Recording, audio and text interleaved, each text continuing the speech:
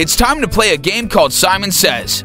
I expect you all know how to play this one, but I'll just explain it anyway. I'm going to give you some things to do, but you should only do them when Simon says so.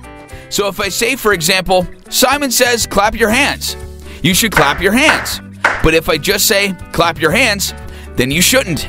Or if you do, you may find that you'll be out. Okay, let the fun begin. Simon says, clap your hands. Simon says, touch your nose. Simon says, scratch your head. Wiggle your hips. Was anyone wiggling? Because I never said that Simon said, wiggle your hips, did I? Well, that was just practice. Let's go again.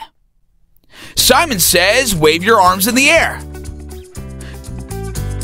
Simon says, touch your toes. Simon says, sit down. Stand up. Oh boy, did anybody stand up? Well, if you did, you better just stay sitting because you're out. Sorry.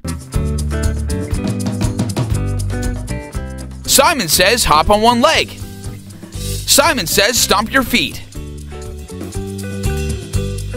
Simon says, scratch your head.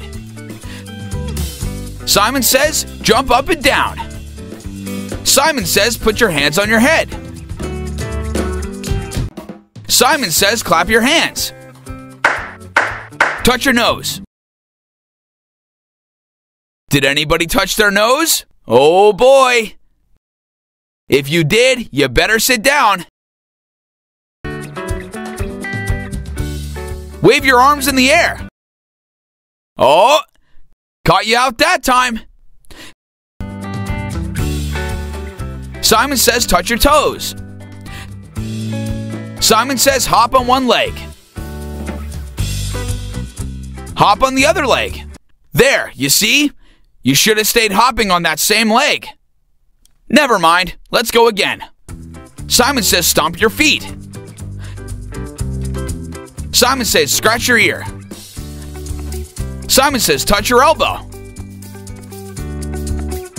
Simon says sit down. Stand up. Oh boy. I think half of you sat down and half of you stood up. Never mind. There can only be a few left of you now. Here we go. Simon says wiggle your hips.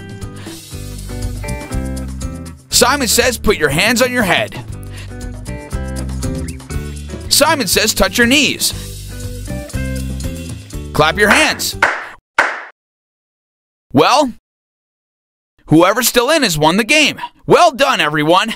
That's the end of Simon Says. Thanks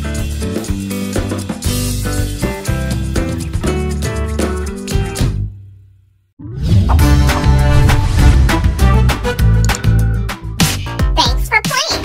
If you're looking for more brain breaks and movement activities, then be sure to check out these other awesome games.